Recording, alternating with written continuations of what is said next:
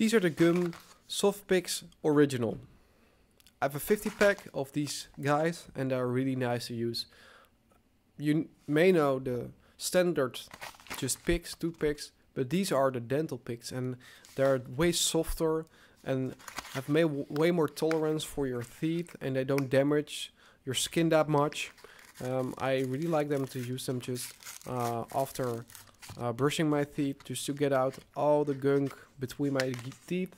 And I don't want to damage anything between my teeth. So these soft picks are really nice to use because um, they don't damage the skin that much as a normal pick um, they also have a little tiny um, bit sticking out just to brush it a bit more between the teeth. So it's not only uh, just a little pick but it's also a sort of small toothbrush